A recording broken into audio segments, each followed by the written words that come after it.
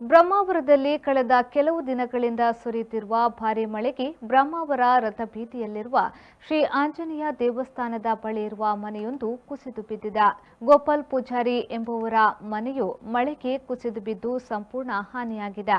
ಘಟನಾ ಸ್ಥಳಕ್ಕೆ ಬ್ರಹ್ಮಾವರ ತಾಲೂಕು ತಹಶೀಲ್ದಾರ್ ರಾಜಶೇಖರ್ ಮೂರ್ತಿ, ಕಂದಾಯ ನಿರೀಕ್ಷಕ ಲಕ್ಷ್ಮೀ ನಾರಾಯಣ್ ಭಟ್ ಭೇಟಿ ನೀಡಿ ಪರಿಶೀಲನೆ ನಡೆಸಿದ್ರು. ಮನೆ ಕುಸಿತಗೊಂಡ ಸಂದರ್ಭದಲ್ಲಿ ಗೋಪಾಲ್ ಪೂಜಾರಿಯವರ ಮನೆಯಲ್ಲಿ ಯಾರೂ ಇಲ್ಲದ ಕಾರಣ ಜೀವಹಾನಿ ಸಂಭವಿಸಿಲ್ಲ.